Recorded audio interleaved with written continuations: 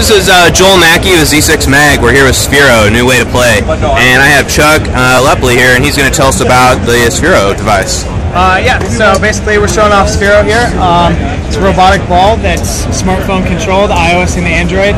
Um, right now you see people driving it around, but um, that's just really the first way that you play with Sphero.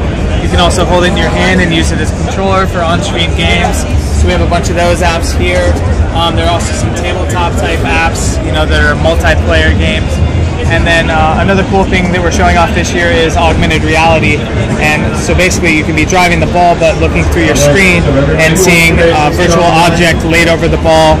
You're interacting with virtual objects that are seeming to appear in the real world. Okay, you're not in the race. So um, Everybody- Sphero is available right now. There's uh, over 20 apps. Most of them are free, and you can Okay. get Sphero at Target, Brookstone, Apple, Barnes and Noble, and a bunch of other places online. Excellent. What's the price line? Uh, the price is 129.99, Okay, one twenty nine ninety nine. and that's the Excellent. ball and induction charger, and most of the apps are free.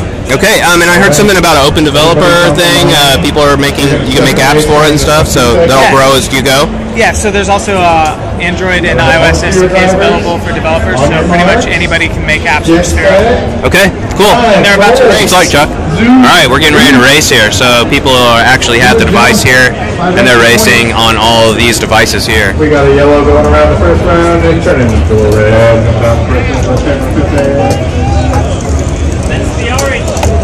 Oh, we orange. Some of these guys are pretty good. Some people aren't. It's it's it's, it's uh something to practice with a little bit, but it's really not that hard to use. I'm gonna go look at somebody that has it on their device. This guy right here, he's playing, and uh, We got a white up See what it looks like here. oh wow, he brought his right here. Oh, he's changing the color, so that's really cool. Real-time color changing. it's making sound. That is super cool. Okay, so you can just put these apps on your phone, and I guess they have like 20 or more uh, different games and stuff that you can do with these. Yeah, that's Yeah, right. that is awesome. So, Final lap here for orange and yellow for red. Oh my. There it Yellow goes. is pulls ahead. We got yellow is pulling ahead. So they're racing them over here. You can see these have a little induction chargers here. This is where it charges. I guess it takes about uh, an hour or so, um, and it will go for a while.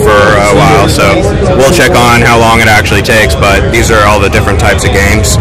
Um, pretty darn cool. So you know, for if you're looking for a new type of way of gaming to get your kids involved, this is definitely really cool. Uh, Nyancat. Uh, founder is actually here too. They're partnering with him. So there is Sphero, new way to play. Cool.